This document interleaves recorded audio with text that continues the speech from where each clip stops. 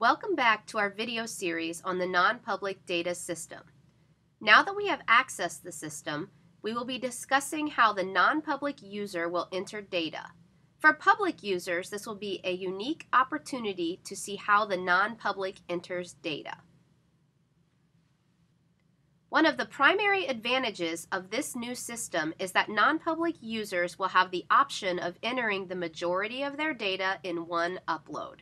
This minimizes having to enter single numbers, line by line, and computer timeout issues. The new system provides the flexibility to work on entering data into an Excel spreadsheet at your convenience and with the ability to have multiple users work on and verify the data. Once in your SAFE account, click NPDS for the non-public data system. Once in the non-public data system, the non-public user will see their name and IRN in the non-public application search. The non-public user will need to hit the search button. This action will return the details for the non-public school. When the search result is returned, hit the Details button on the far right side of the screen. The first tab is the Overview tab. The information seen here is imported into the system from the Ohio Educational Directory System, or OEDS. If there are corrections that need to be made for this data, please make the necessary changes in OEDS. Click the Program Selection tab. On the left side of the screen, you have the instructions for uploading Federal ADM, as well as the participation responses. The participation responses selections were made when the non-public first logged onto the system from the Intent to Participate questionnaire.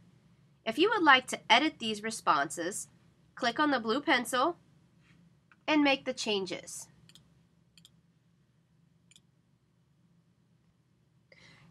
Click Confirm to submit your program selections.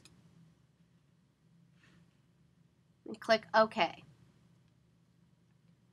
The non-public will then select schools for which they would like to report data. These are the public buildings that the students of the non-public would be attending. Click the button that says Add Public School. In the search box, begin to type the name of the district for which you wish to enter data. Notice a list of districts that begin with the word you typed will appear along with their IRN and county. For the purpose of this video, I'm going to choose Columbus Public Schools. Then click the button that says Get Buildings. A list of all of the buildings will be generated. Use the check boxes to indicate the schools for which you would like to report data. You can click as many schools as you wish. Once you've made your selection, click Save.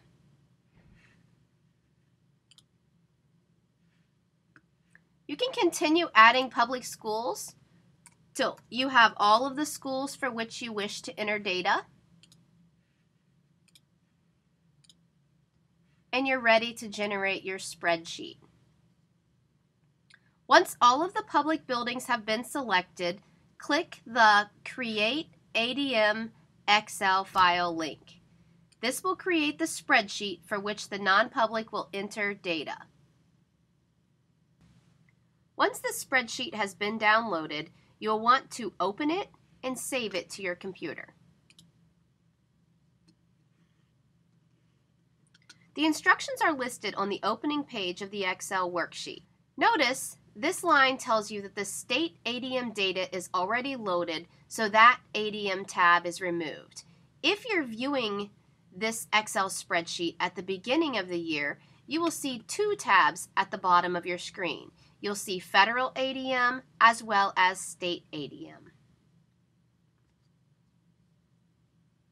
Another important note, the agency standard for Excel is Excel 2007. If you have an older version, please contact the Office of Federal Programs at 614 466 4161 for options. Please notice the enrollment data being collected is a little different than in past years. Eligible students with disabilities, along with LEP, LEP immigrant, immigrant, non LEP, and migrant, will be collected at the district level, as well as the out of state enrollment type. Academically eligible and low income data is collected at the building level in the non public data system. The data for free price lunch and reduced price lunch data will be reported separately.